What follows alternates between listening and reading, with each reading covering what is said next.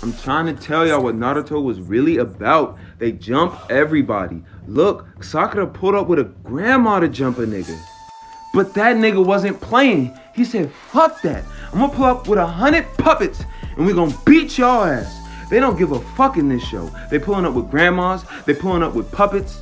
This nigga Sasuke pulled up with his dead brother to beat Kabuto's ass. That nigga pulled up with a zombie.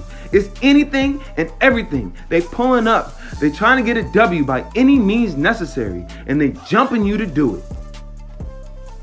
Now they understood the assignment. They brought a whole army for this one man to beat this one man's ass. They definitely planned to jump him. The man on the left is just built a little different. They understood the assignment, but he's built different because he pulled out two meteors on their ass. He said, fuck that. He built different. He wanted the smoke.